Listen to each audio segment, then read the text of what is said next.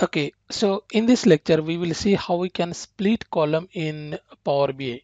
So basically, if you if you look at this uh, uh, diagram here or the picture here, I have a SharePoint list and uh, you can see here there is a location column which is uh, having a state and then country is there. So imagine when you are creating a report, you want to split this two into two columns so that you can know actually which state uh, uh, state in one column and then country in another column. Probably you can do that. Now let me show you the SharePoint list first of all. So if you'll see here, uh, there's a list named TSInfo client and it has a couple of columns. One is a title, location, total projects, project value, percentage delivered like this. If you look at this uh, location column, so you can see here Bangalore, India, Chennai, New York, USA like this. Uh, this is column which contains the state, comma, then uh, the country name. Now I want to split and I want to make it to two columns. So for that, what we will do here is I will uh, I will first open our Power BI desktop so that we can low you can we can create a report based on that. So we will get the data from the SharePoint list.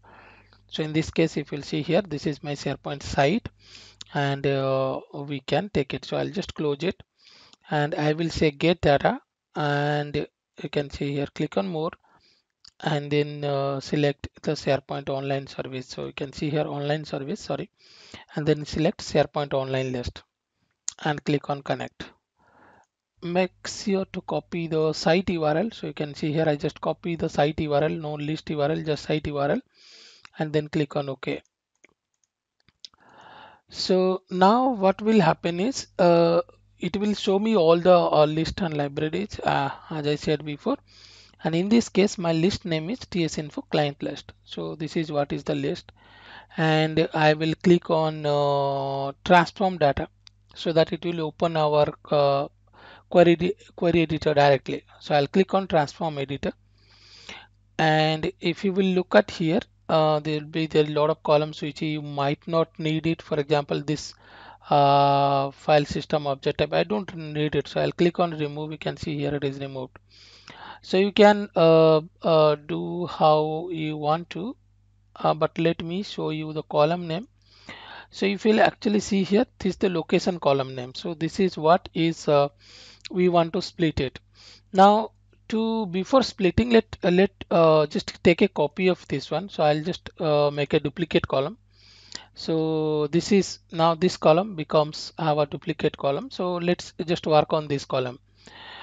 Um, now let me just refresh it once. You can see here now it will come correctly. So you see here why I did refresh because this is the same list I was doing another example. So the previous data was there. So you can see here now it is uh, the data is coming correctly. So you have the country state name and then country. Now this one I will select and then you can right click over here and then you can see here a split column is there and from here you can select uh, uh, on which you want to split the column. Apart from that once this column is selected you can go here and you can see also from this ribbon you can get it. So in this case i will let's say i will say okay first of all so you can see various conditions how you want to split by delimit delimiter by number of characters by position uh, by lowercase to uppercase uppercase to lowercase digit non-digit. So all these uh, uh, things are there or this um, which you can use to split the column. But in this case we have uh, we are we are uh, uh, we can see it. I have a comma over here. So I'll click on by delimiter. And then it is saying uh, you know select the delimiter. In our case it is comma. You will see most of the time it will be a comma or semicolon or a, a space or a hyphen like this you will get. And then split at uh, left most delimiter right most delimiter and each occurrence of this delimiter. So here we need to understand what does this mean is um, you how let's say you have multiple comma there so how you want to do that? I want to make here uh, make sure that we will do each occurrence. So how many uh, times comma is there? So it will take uh, it will do that. And if you go to the advanced option it is saying whether you want to split into columns or you want to split into rows. And in this case we have uh, into the columns and uh, we will say two columns and then click on ok. So once you do that you can see here now you have a Bangalore and the location copy too. So you can just right click and rename it. For example, the first one I will uh, uh, say state and the second one I will just rename it and I will say country. So this is how you can see here we split it and then we can see it. Now let's say we have one more uh, um, over there. So for example, I if I will go back here, I will just quick edit it and we will add the uh, pin number as well. So I will say 560103.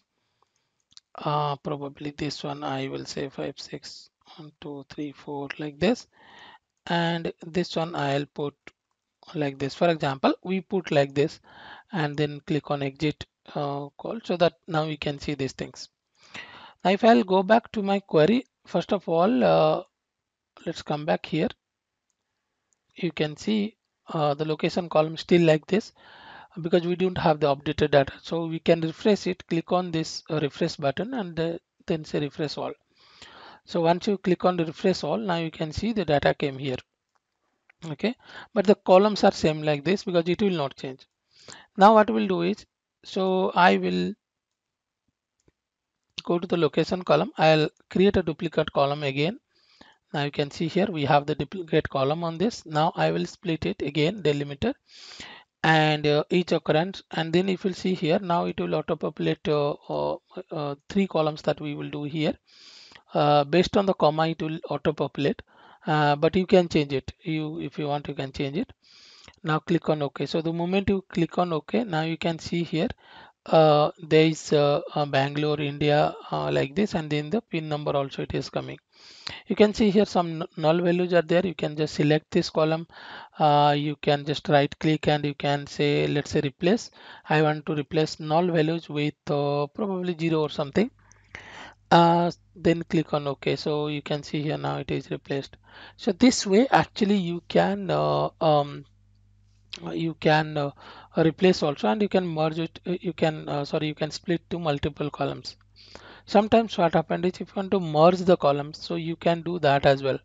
Um, for example let's say you want to merge uh, these two columns a, India and let's say I want the pin number like this so you can click over here and then you can see merge columns is coming click on merge column and then it is saying the separator that you want to use so for example um, I will say put one uh, space and then I will say let's say country and then uh, pin code something like that and uh, I will click on OK. So the moment I will say you can see here now it is coming like this. You can also put empty on this so you can do that way. But now if you'll see here now uh, this column or this one is uh, it is taking uh, or it is merging these two columns uh, our previous column and then the pin so both these things it is merging and it is showing it to one column so this is how we can actually split columns or we can merge column. So this is how we can do using the Power Query Editor. So I'll click on save and close and then you can see here it will be now it will be uh, the report will be saved. So you can see here if you now go to the table uh, you can have this thing so your columns will appear over here the last one you can see here you can rename it and you can use however how you want to use it so i'll put this report also uh, so that you can check it when you will you will do the practice